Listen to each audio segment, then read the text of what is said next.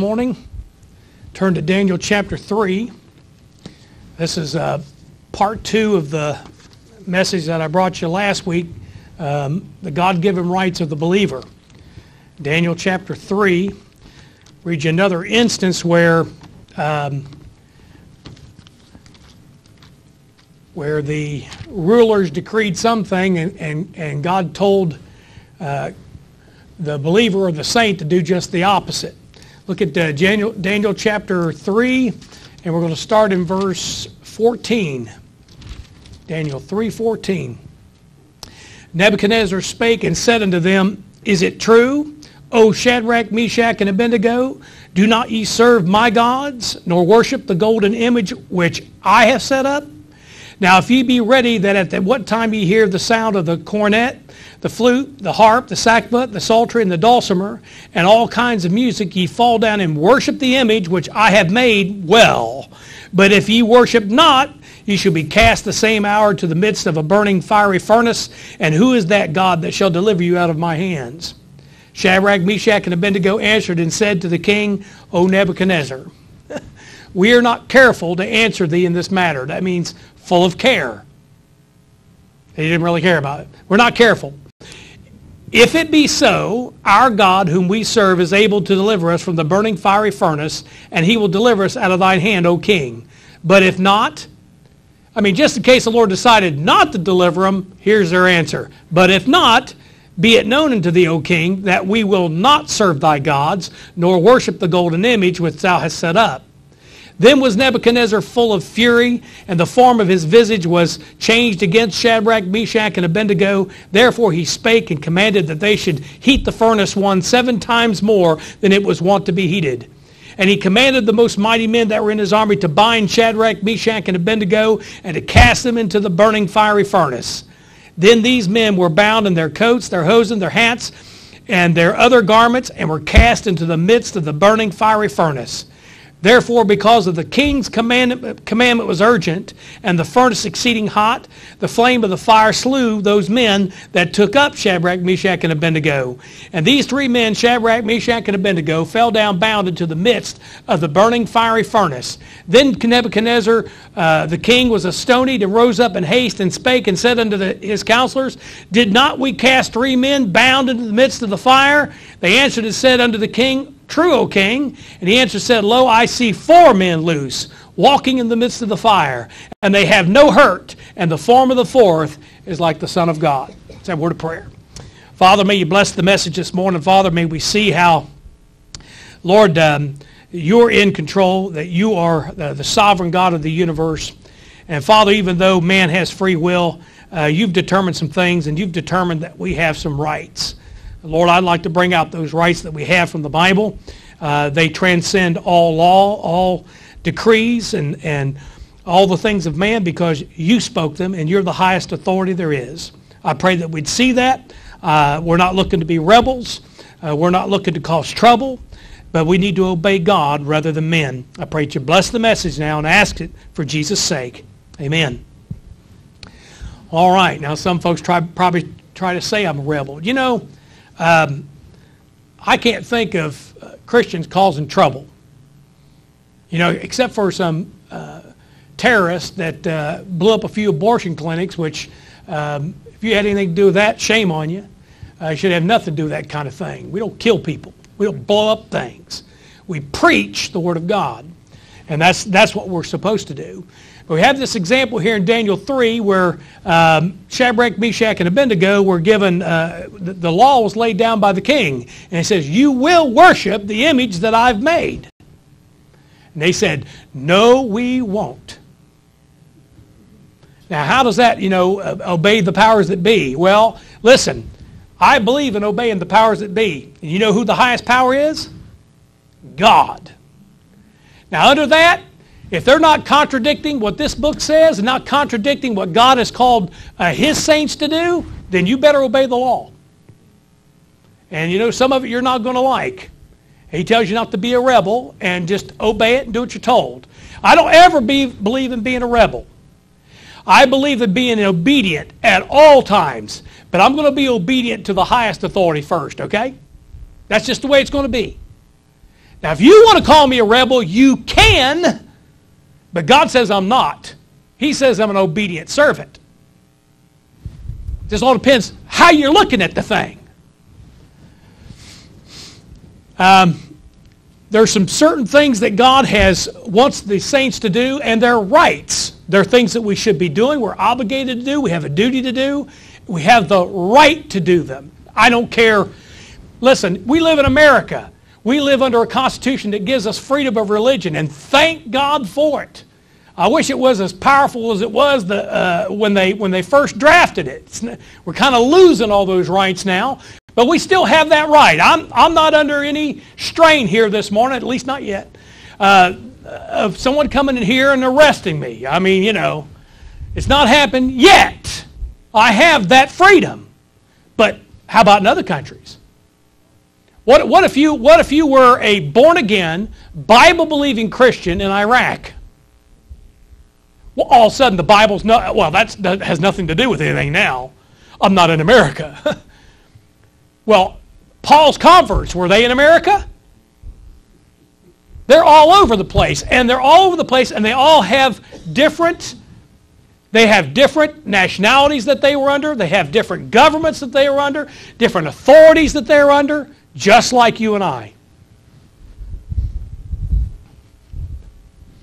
So, what are our rights? Let me give you a few of them here. Number one is you have the right to praise and worship God. They told, they told Nebuchadnezzar, We will not worship your God. We're going to worship the true God. Uh, Psalm 150, verse 6 says, Let everything that hath breath praise the Lord, praise ye the Lord. But only if your municipality or federal government allows it. So you don't add that in. God wants to be praised and he wants to be worshiped. And he doesn't care what the political alignment is or the situation is. God wants to be praised and worshiped. Psalm uh, 96 verse 9 says, O worship the Lord in the beauty of holiness, fear before him all the earth.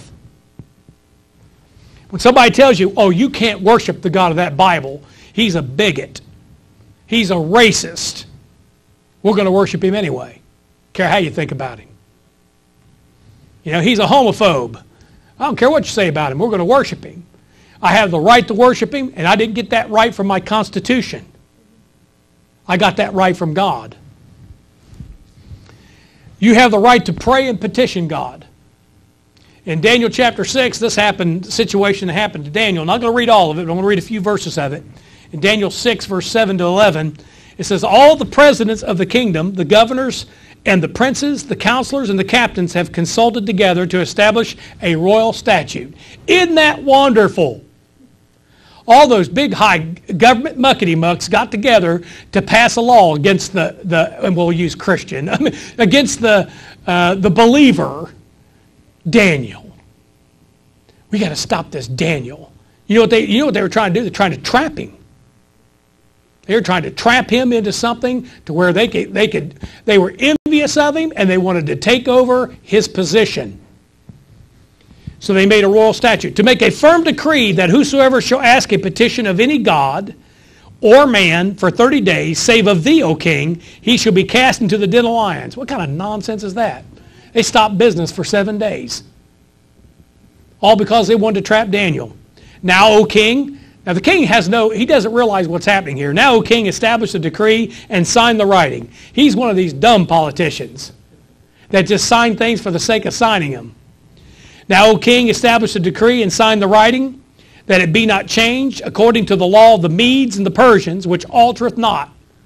You know, they think that their, uh, their law is sovereign. Well, Wherefore King Darius signed the writing and the decree. Now when Daniel knew that the writing was signed, he went into his house, and his windows being open in his chamber toward Jerusalem, he kneeled upon his knees three times a day and prayed and gave thanks before his God as he did aforetime. Did he obey that law? No. Then these men assembled and found Daniel praying and making supplication before his God. And they ran to the king and said, King, King, ah, ah, ah, disobeying the law. then Darius bowed his head and he said, Yep. It's too late, wasn't it? The law of the Medes and Persians, the law that altereth not. Daniel, I got to throw you into that lion's den. Of course, throws him in there, and do the lions, do the lions uh, eat him up? Nope, they don't touch him. You know, you'd think if he'd have been against the law and doing things contrary to the, uh, the powers that be, that God would have let the lions just eat him up. But he didn't. And it really wouldn't matter if they did. You know how many, you know how many uh, uh, men and women have lost their lives for the cause of Christ because they were considered outlaws? They were considered criminals. You know what their, you know what their crime was? They believed a book. They preached a Savior. They taught against a heresy. That was their crime. And they were put to death for that. And, our, and, and history is littered uh, with the um, little popes and uh, little uh, um, uh dictators that were uh, a party to those killings. And they passed the laws. You know what a pogrom is, don't you? It's, it's a legalized killing. It's where, you know, the, the, uh, town mayor or the governor or whoever says, you know what? For one night, you can go out and kill all the Jews you want. Well, no, no. For one night, you can go out and kill all the Christians you want. Think about it. You say, who in the world would do that? What happened in Russia? They had pogroms against Jews. I read a first-hand account of a man that was in a, was in a, a little tea shop having a cup of tea with a colleague when he saw a little girl running past and, and some others running past and people behind them beating them with clubs. And it was their neighbors beating the Jews, their own neighbors. And he saw a man running after that little girl, and he knew what that man was going to do. And he come out of that diner or that little uh, place and just whap, come up and hit him right in the face and knocked him out.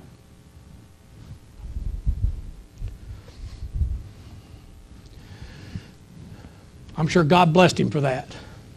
You say, how could that be? Well, how, how, how could you have six million Jews in, in, in concentration camps? Somebody passed a law, man. They're doing it all the time. And they're going to do it here eventually. You know, one of these days I'm going to be an outlaw, whether I like it or not. I'm going to be an outlaw. I can see it coming, can't you? That if I preach this or believe this or teach this, I'm an outlaw. So be it. Not according to God. You have the right to preach the Word of God. He said in 2 Timothy 4, verse 2 and 3, preach the Word. Be instant in season, out of season. You know what that means? In season means when they want it. Out of season means when they don't want it. Still preaching the Word. When they can take it, when they can't take it. When it, when it stirs things up and when it calms things down. Doesn't matter. Preach the Word. I understand it stirs things up. The reason it stirs things up because somebody's not right about something. Or wouldn't be stirring things up now, would it? Preach something, man, they get rabid on you. Oh, they do. Oh, they go insane. You start quoting some of that Bible.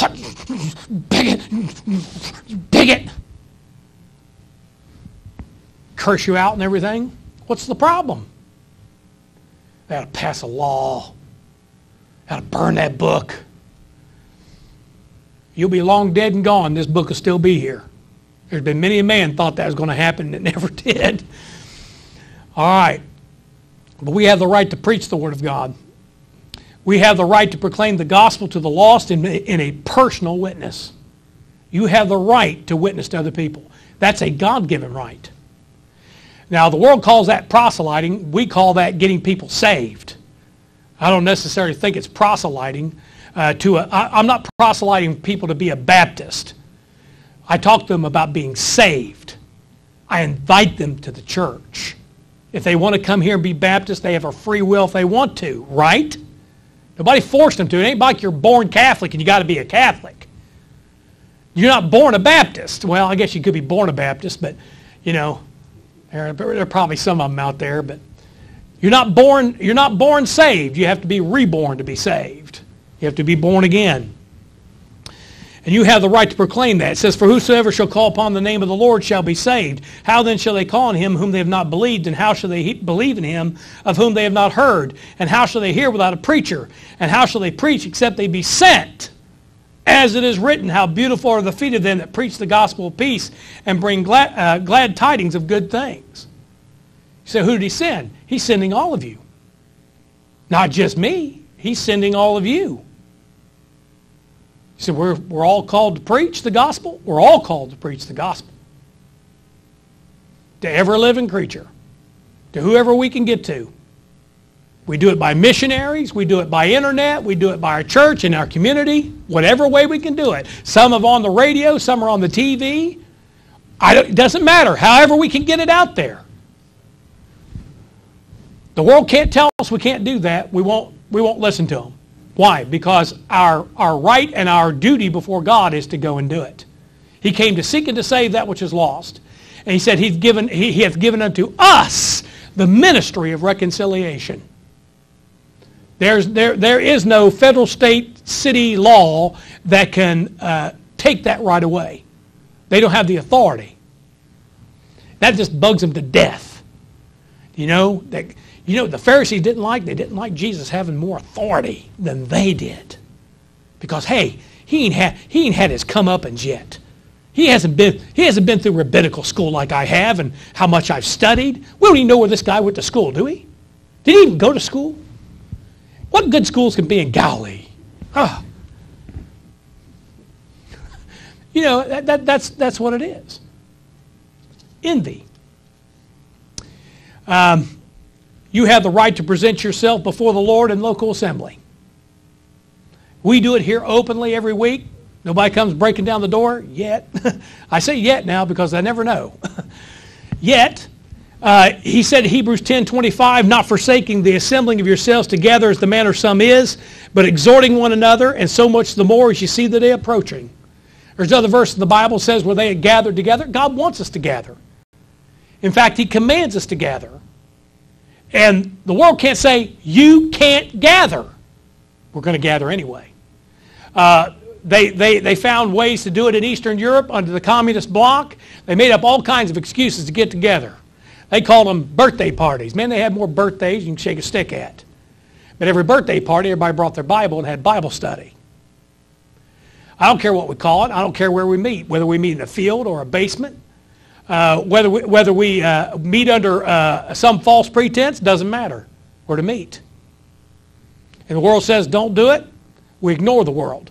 Why? We have to be obedient. We have to. We ought to obey God rather than men.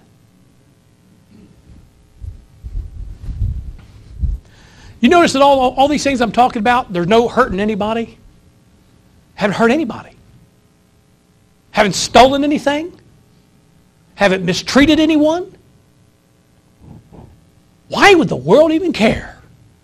But they do. California gets their way, we'll all be lynched.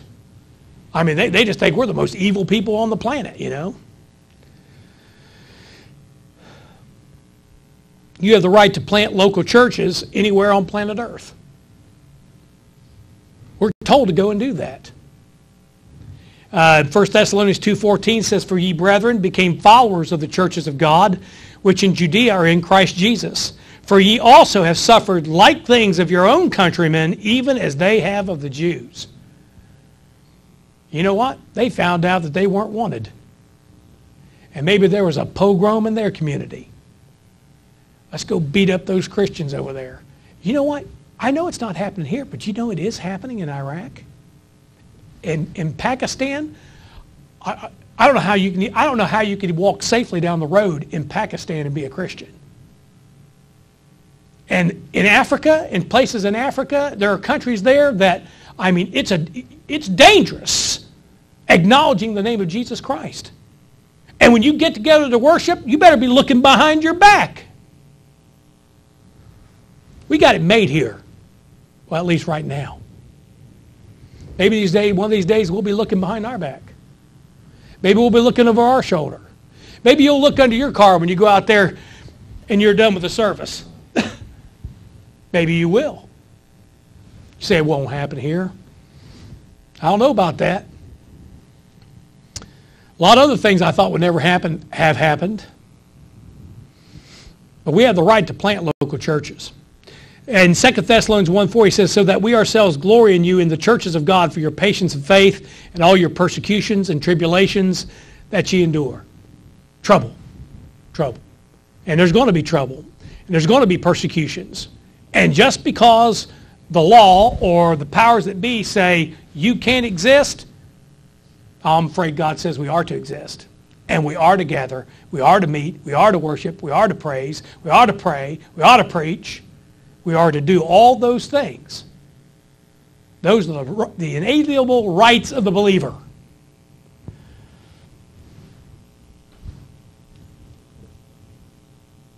Now here's the last one. This is the only one that kind of stands out with all the rest, or stands out from all the rest. You have the right to protect your person, your progeny, your property against wicked persons who would do you or yours harm. You have the right. You say, where do you get that from? Luke 22, 36. Then said he unto them, But now he that hath a purse, let him take it, and likewise his scrip, and he that hath no sword, let him sell his garment and buy one. Why would he tell you to do that? Why would he tell his disciples to buy a sword? To defend themselves? To def- you say, well, is that really what we're supposed to be doing? I'm, you know, we're not passive, we're peaceful. The Bible says, you know, with all that lieth in you, live peaceably with all men. With all that lieth in you. That means we will try just about everything to live peaceably with our neighbors, with our friends, with our government. We'll try to live peacefully with them. But we're not passive. You say, well, aren't we to turn the other cheek in relation for the, for the witness of Christ? Yes! But not everything is about the witness of Christ. Not everything is about, you know, when, when, when, the, uh, when the thief comes to your house to break in and steal and threaten the, the welfare of your family, it's not about the witness of Christ. And are not about to turn the other cheek. We are meek, but we will go to war. Don't we go to war? For, uh, Baptists aren't conscientious objectors, as far as I know. A Bible believing Christian is not a conscientious objector. He will fight for his nation. We're not, we're not, I mean, but yet, do we want to fight? Well, of course not. Do we want to mix it up and shoot people? No. We want to be the meek. We, want, we, we prefer peace over war anytime. You'd be crazy not to. Not a warmonger. But we ended up going to war. We're harmless. The Bible talks about being uh, the harmless sons of God. We're harmless, but we're armed and ready. Will you get hurt from me? Not if you're not trying to hurt me or my wife or my children. Why would I hurt you? I wouldn't harm a hair on your head. Why would I? Never been tempted to. Well, I want to choke a few church members. Can't say there's not that desire there sometime. But, you know, I, I, have, I have no, there's not a single desire in my mind to hurt someone that I'm trying to win. Unlike maybe a, a, some crazy Muslim that might hold, hold you at, Uh, you know, a sword to your throat and say convert or die, and that what they believe. I mean, don't tell me it's not what they believe. It's what they believe. It's called conversion at the, at the point of a, a sword. We don't. Do we do that? Hand you a packet. I don't. You might cut your finger on the paper, maybe. You know, get a paper cut and say that we, you know, tried to kill you. I, you know, we're pretty harmless, don't you think? How many of you are hurting people out there, beating people up? How many? Come on, fess up. Who's beating up who? I'm not beating up anybody. You find examples of these things in the Old Testament where you know, and of course, a nation that wants to strip you of your right to be armed, by the way, you're getting toward the end of your nation when that happens. I mean, that's exactly what Adolf Hitler did when he went in and came to power. He took away the weapons. Why? That way he can run the people. Because, you know, after a while, people realize that you're a dud. They realize you're a killer. They realize you're a cancer. Well, if you're unarmed, there's not too much you can do about it. So you just pass gun laws and disarm everybody. If you go and look and just take a look, just just you, you know, just go go to go to the internet, Google genocide, read about it. The genocides that have gone, the millions of people that have been murdered by their own government or by some other totalitarian system that, you know, wanted to put them under their heel. Go read about it. They're all disarmed. They're all unarmed because they can't defend themselves. You know why your you know why your forefathers said you were to be armed and gave you the Second Amendment? So that a tyrannical government couldn't do to you what it's done to millions. Millions upon millions. It happened in Russia, it happened in China, it's happened in the Middle East, it's happened in Africa, it's happened everywhere. And the only thing that keeps it from happening here is we're armed. But you know what? The government didn't give me that right. They may have acknowledged that right, but they're not the ones that gave it to me. The Bible gave me that right. Defend your families. We're not aggressive, but we'll defend our families aggressively. I think that's the duty of any man. All right, one more thing. The unsaved. Can't forget about them. They're only about, what, 95% of the population outside the saved here, maybe? Maybe 98? What do they got? They got one right. One. 1 Timothy 2, 4 to 6. Who will have all men to be saved and to come unto the knowledge of the truth. For there is one God and one mediator between God and men, the man Christ Jesus, who gave himself a ransom for all to be testified in due time. They have the right to be saved. Now, they don't even deserve that right. I didn't deserve that right. But they have it to exercise or ignore. And because they have that right to be saved, we have that obligation to present. Christ didn't die on that cross in vain. He, did, he, did, he didn't allow himself to, be, uh, uh, to become sin so that we could just ignore the rest of the world, not try to win as many as we can. The Father is willing to save. The Son is willing to save. God is willing to save all that will come to him. John 6.37 says, All that the Father giveth me shall come to me, and him that cometh to me I will in no wise cast out. God's just not picking and choosing and saying, Well, I don't know if I want you. You know, you just I don't think you fit. You're not the caliber I'd like. God saves anybody, man. I mean, he saves them from, from every spec, spectrum of the human element. you, uh, God saves the worst. He saves the, the very best that we hold up. And God can even save politicians and lawyers and Hollywood stars. Who'd have believed that? Huh? And the mafia, yeah. He can save heretics if they get right with God. I mean, he can, he can save he can save to the uttermost. They have that right. Thank God they have that right. But you know what? That's all they got. They're not going to do the rest of them. They care less about the rest of them. Those are our rights. This is our world one day. So next time you think about it, you know, when all of our, you notice I didn't mention none of the rights that, except for maybe the Second Amendment right, none of the rights that our government gives, because your government gave them to you, and your government can take them away.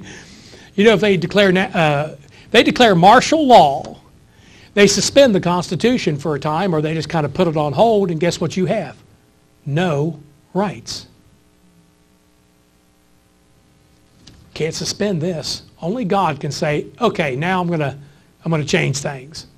And he'd have to take us all out of here to do it, which is fine with me. All right. Let's all stand.